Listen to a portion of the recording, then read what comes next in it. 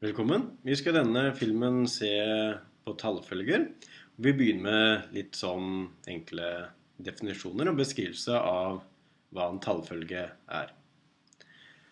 Hvis vi har noen tall som er plassert i en bestemt rekkefølge, f.eks. 1, 2, 3 og 4, så sier vi at dette er en tallfølge.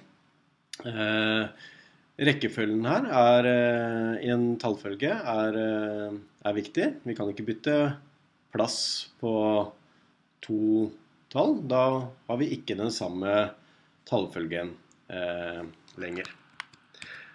Hvis vi ser på hvert enkelt av tallene, så kalles de for ledd. Så første leddet i denne tallfølgen er 1, andre leddet er 2, tredje leddet er tre også, osv. Eh, veldig ofte så er slike tallfølger de, de følger eh, et mønster. Så vi kan ta noen eksempler her. Her har vi én tallfølge. Ofte så sier man bare en følge.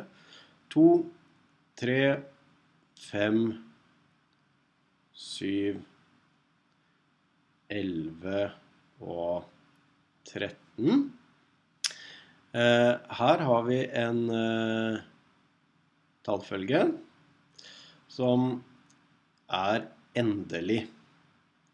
Og med endelig så mener vi at eh, vi kan telle hvor mange ledd det er. Den, den har et første ledd, og den, den har et siste ledd. Um, vi kan også skrive en endelig tallfølge som er veldig lang. To, fire, seks, åtte Og så lager man tre slike prikker. Da betyr det bare at det fortsetter på samme måte. Og så skriver man da det siste leddet eh, slik. Denne her er også endelig. Den har et første ledd, og den har et siste ledd. Men eh, hvis den er veldig lang, så, så pleier man å sette inn tre slike Eh, prikker for å bare symbolisere at eh, mønsteret fortsetter på samme måte. Og så skriver man da det, det siste leddet. Um, en annen type tallfølge kan være 1, 4, 9, 16, 25 36. Og så lager man disse tre prikkene der hvor det siste leddet egentlig skulle stått. Da sier vi at dette er en uendelig tallfølge. Så ved å ha disse tre prikkene i siste ledd, så sier vi at den bare fortsetter og fortsetter og fortsetter eh, til evig tid.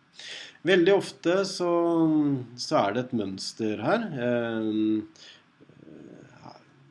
kan man trene øyet til å se disse mønstrene? Det er ikke så lett å se alltid, men eh, denne tallfølgen her Her vil man kanskje si at eh, jo, her har vi Her er mønsteret, da. Primtall 2, 3, 5, 7, 11 og 13. Det er jo alle primtall. Denne tallfølgen her, det er jo Her har vi tatt alle partallene. Eh, fra 2 opp til til og med 100. Den uendelige tallfølgen her er kanskje litt vanskelig å se hva som er mønsteret, men hvis vi ser 1, 4, 9, så husker vi kanskje at eh, dette er tall vi får hvis vi opphøyer F.eks. 2 i andre blir 4, 3 i andre blir 9, 4 eh, i andre blir 16 osv. Så, videre. så dette er mønsteret her er at uh, dette er kvadrattall.